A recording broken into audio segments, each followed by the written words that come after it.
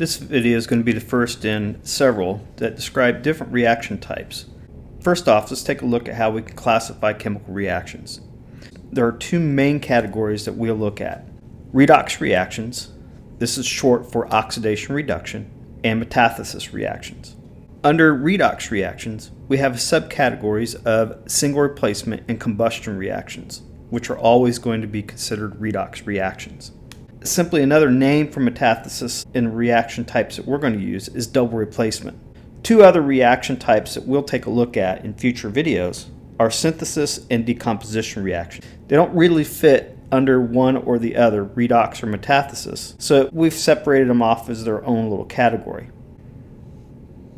The first reaction type we're going to look at is redox reactions. Before we do that, let's take a look at and define what an oxidation state is. An oxidation state is a way of keeping track of the electrons in a chemical reaction. So in many chemical reactions, electrons are going to move around from one atom to another, and this is going to cause what we call a change in the oxidation state. Another way of thinking of this is what we did with ions. So when an atom loses or gains electrons, it's going to become an ion and have a charge overall because of the imbalance in the number of protons and the electrons. This is the oxidation state, and in this case, the oxidation state represents the charge when an atom has gained or lost electron. If an electron is lost, then that means the oxidation state will become more positive, or you get an increase in the oxidation state. In the other direction, if an electron is gained, oxidation state will decrease or become more negative. So what is a redox reaction? So a redox reaction involves a change in the oxidation state of the elements. So an element will start off with one oxidation state as a reactant and end with a different oxidation state as a product. This is going to be due to the transfer of electrons from one atom to another. In the process, oxidation is going to be the loss of electrons. So if an atom were to lose electrons, we would say it's going to be oxidized and it will increase in its charge or oxidation state and become more positive. The reduction part of a redox reaction is the opposite. An atom is going to gain electrons in the process, going from the reactants to the products. And as a result, you're going to get a negative change in the oxidation state. One of the easiest ways to remember the difference between oxidation and reduction is this mnemonic oil rig. Oil stands for oxidation is loss, and rig stands for reduction is gain. Both of those sentences would end in electrons. So, oil, oxidation is loss of electrons, rig, reduction is gain of electrons. In a redox reaction, both of these have to occur.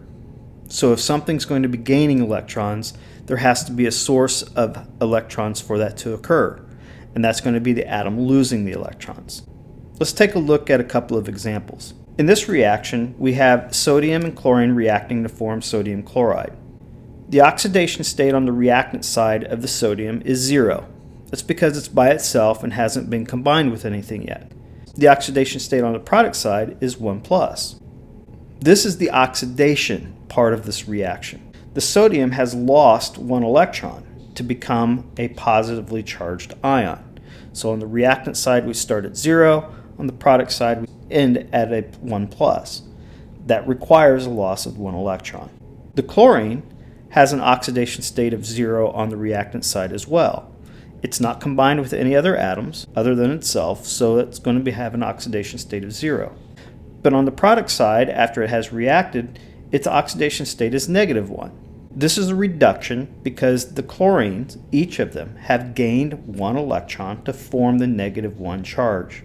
Overall then, this is our redox reaction. Here's another example. We have copper reacting with silver nitrate to give us silver and copper 2 nitrate. We start off with copper having a zero oxidation state on the reactant side, again because it hasn't combined with anything yet, and it ends with a 2 plus oxidation state on the product side.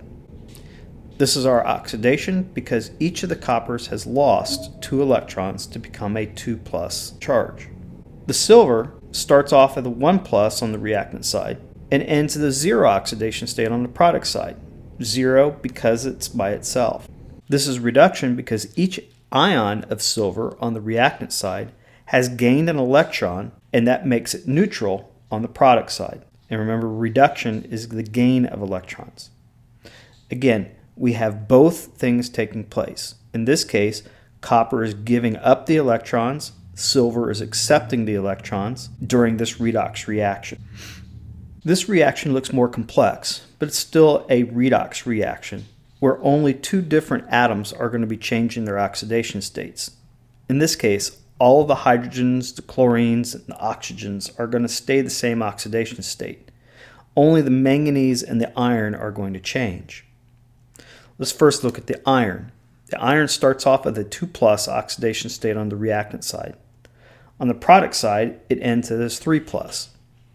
This is our oxidation because each of those iron atoms has lost one electron to go from a 2 plus to a 3 plus. Our manganese starts as a 7 oxidation state on the reactant side and ends as a 2 plus oxidation state on the product side.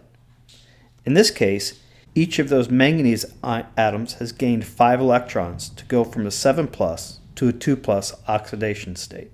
In summary, our oxidation reduction reaction has to have two different things take place. One atom has to be oxidized from the reactants to the product side, and in that case, lose electrons. Another atom has to gain electrons from the reactant side to the product side, and that would be our reduction. Without both of these occurring, you cannot have a redox reaction.